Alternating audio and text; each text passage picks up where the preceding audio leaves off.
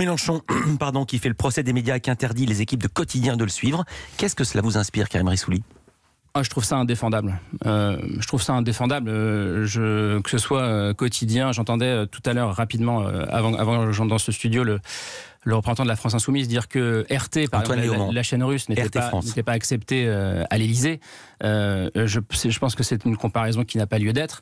Euh, et je pense que voilà, quotidien, c'est TMC, c'est, une chaîne du groupe TF1. C'est-à-dire, Si on commence à interdire les chaînes du groupe TF1, euh, des meetings, des conférences de presse, des partis politiques, enfin voilà, ça, ça me paraît, ça ne me paraît pas défendable. Le- Jean-Luc Mélenchon n'est pas obligé d'aimer les quotidiens qui le suivent, mais ça ne me paraît absolument pas défendable.